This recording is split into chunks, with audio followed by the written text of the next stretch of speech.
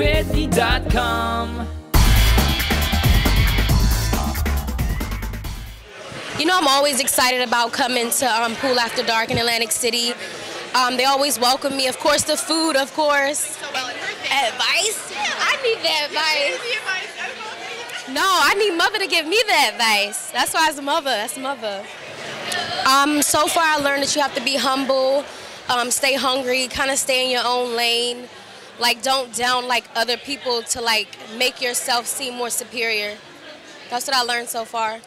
Um, well, actually, I'm still growing. I mean, every day, really, because I'm always doing something, and I'm just like, I'm happy that I am successful with the things that I am doing, like with my lash bar and even being a mom. Um, the secret is to put on a mascara, and then I actually use hair glue because it's more tackier. If I could trade places, I would have to say J Lo.